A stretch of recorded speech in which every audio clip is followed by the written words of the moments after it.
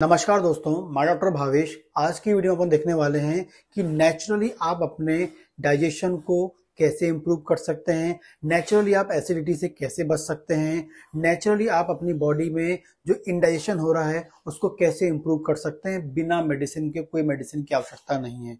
आपको बता दें कि हमारी बॉडी में हम जो भी खाते हैं, जो हमारा, जो भी हम फ़ूड मटेरियल लेते हैं, खाने में हम जो भी खाते हैं, वो हमारी बॉडी में जाता है और हमारी बॉडी में अवशोषित होकर शरीर के अंदर जाता है।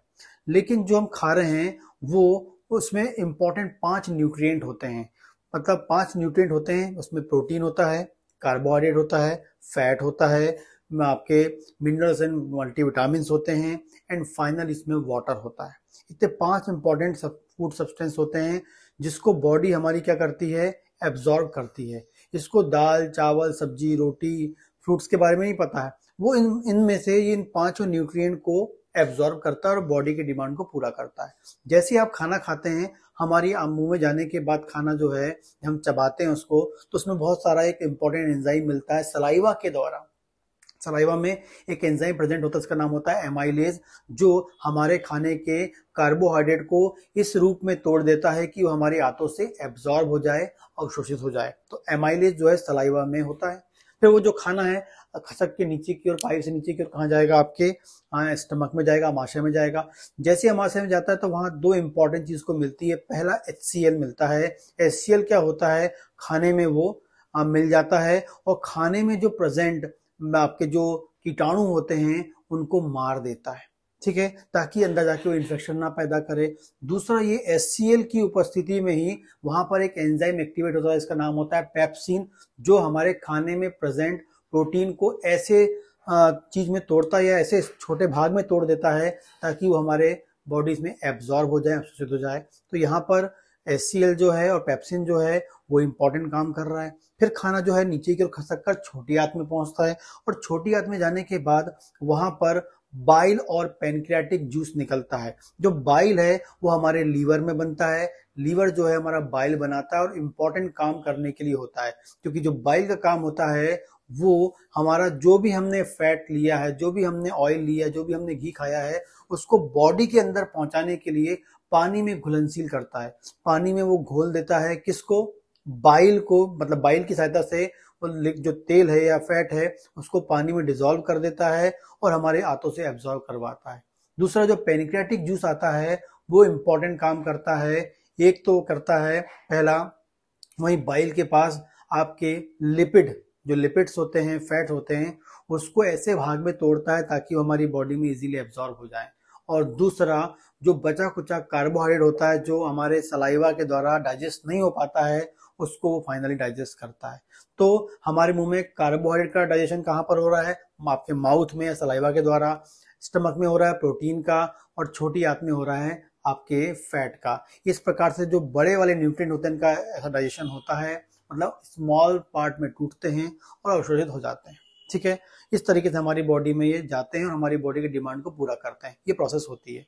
तो इससे प्रोसेस को ही हमको क्या करना है? हेल्दी रखना है। और इस प्रोसेस को हेल्दी रखने के लिए करना क्या है? सबसे पहले आपको बता दूँ, जो बेस्ट टाइम होता है सलाइवा में एंजाइम का, हमारे स्टमक में एंजाइम का बाइल का प्रॉपर निकलना एंड पेनकेटिक जूस का प्रॉपर निकलना चारों यदि प्रॉपर टाइम प्रॉपर जब इनकी क्वांटिटी ज़्यादा होती है हमारी बॉडी में, यदि तब हम यदि खाना खाएँगे तो आपका ऑटोमेटिक डाइजेशन प्रॉपर होगा। तो उसका बेस्ट टाइम है सुबह के आठ से लेके रात के आठ। सुबह आठ से लेके रात के आठ के बीच में आपको खाना खाना है। यदि आप आठ बजे के बाद रात में नौ बजे, दस बजे, ग्यारह बजे खाना खाते हैं तो आपका डाइजेशन प्रॉपर होगा ही नहीं, क्योंकि उस टाइम ये एंजाइम्स ही नहीं होंगे।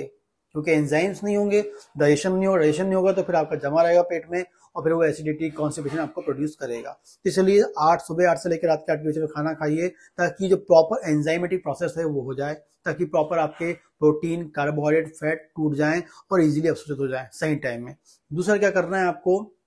जो है, आपका जो खाना खाने का जो टाइम बता दिया मैंने आपको। सेकंड क्या करना है आपको? जो खाना है, एकदम भरपेट नहीं खाना। जब भी आप खाना खाते हैं तो कम से कम आपको 75 परसेंट मतलब आपको जो आपका 100 परसेंट में से 75 परसेंट खाना है, ताकि आपका जो स्टमक है, वो थोड़ा सा कैसा रहे, खाली रहे, गैप रहे। क्योंकि जो स्टमक होता है, उसमें एक इंपॉर्टेंट प्रोसेस होती है, जिससे एससीएल उसमें मिलता है। यदि आपने पूरा भरपेट खाना खा लिए, बहुत सारा खा लिए ओवर डाइट कर लिए तो खाना जो है पूरे स्टमक में ऊपर तक आ जाएगा। और जब वो मूवमेंट करेगा तो उसमें जो एससीएल होता है, वो आपके यहाँ टकराएगा, फिर आपको बार बार टकराएगा, ऐसा होता रहेगा होता रहेगा तो यहाँ पर फिर आपको जलन, खट्टी डकार और हमेशा यहाँ पर भारीपन आपको लगेगा। इससे बचना चाहते हैं तो आप खाना खाने, खाना खाएँ, लेकिन थोड़ा सा कम खाएँ, ताकि खाने में प्रॉपर एससीएल मिल जाए और एससीएल का जो साइड इफ़ेक्ट हमारे यहाँ पर ना हो। ठीक है? तीसरी बात क्या है? खाना खाने के तुरंत बाद आपको नहीं बैठना है। खाना खाए तुरंत जाके बैठना नहीं है, सोना नहीं है। खाना खाने के बाद आपको 15 से 20 मिनट का सिंपल सा वॉक करना है, ठीक है? वो वॉक क्या करेगा? आपके जो खाने को प्रॉपर सेट कर देगा। खासकर हम बात करते हैं, जो हाइटस हर्निया के पेशेंट होते हैं, यहाँ पर एक हो जाता है या इसोफेगस मतलब गैस्ट्रो इसोफेजल रिफ्लेक्स के पेशेंट होते हैं, उनके लिए खास कर कि खाना खाने में तुरंत नहीं बैठना है। कम से कम पाँच दस मिनट वो वॉक कर लें, ताकि खाना का सेट हो जाए, उसमें प्रॉपर एस मिल जाए, नहीं तो आप सो जाएँगे तो वो खाना ऊपर क्यों आ जाएगा। ठीक है? ये तीन बात हो गई। अगली बात करते हैं, खाना खाने के तुरंत बाद पानी नहीं पीना है। खाना खाने के तुरंत बाद पानी नहीं पीना है। क्यों नहीं पीना है? क्योंकि जो प्रोटीन का डाइजेशन है, वो नहीं हो पाएगा। क्योंकि प्रोटीन का एंजाइम तभी काम करता है जब वहाँ पर एस का कंसेंट्रेशन ज़्यादा होता है। और यदि आपने खाना खाने के तुरंत बाद पानी पी लिया तो जो एस है, वो डायल्यूट हो जाएगा और एंजाइम की एक्टिविटी कम हो जाएगी। इसलिए खाना खाने के लगभग आधा घंटे के बाद, लगभग आधा घंटे के बाद आपको क्या करना चाहिए? पानी पीना चाहिए। वो आपके प्रॉपर प्रोटीन के डाइजेशन को हेल्प करता है। प्रॉपर प्रोटीन डाइजेशन हो जाएगा। आपका पेट ऑटोमेटिकली खाली हो जाएगा और खाना नीचे की ओर खसक जाएगा। ठीक है? आगे बात करते हैं, आपको अच्छे फ्रूट्स खाने चाहिए ताकि आपका लीवर अच्छा हो, ताकि आपका लीवर अच्छा हो और लीवर प्रॉपर काम करेगा तो प्रॉपर बाइल बन के आएगा और अच्छी फंक्शनिंग आपको मिलेगी। अगली हम बात करते हैं, यदि आप अपने खाने में सुबह और शाम के दोनों खाने में सलाद ऐड कर लें। सलाद ऐड कर लेंगे तो कम से कम एक कटोरी सलाद ले, नींबू लेके, नींबू डाल के लें, नमक नहीं लेना है। ये सलाद ऐड करता है, उसमें आपको बेस्ट फाइबर मिलता है, जो कहीं ना कहीं आपके आंतों के मूवमेंट को, कहीं ना कहीं आपके आंतों की एब्जॉर्प्शन की प्रोसेस को बढ़ाते हैं बैड कोलेस्ट्रॉल को जाने से रोकते हैं एक्स्ट्रा शुगर को जाने से रोकते हैं। तो आपको सलाद में ककड़ी, गाजर, मूली, ये आप चुकंदर, ये सब आप टमाटर, ये सब आप ले सकते हैं सुबह और शाम के खाने में। ठीक है?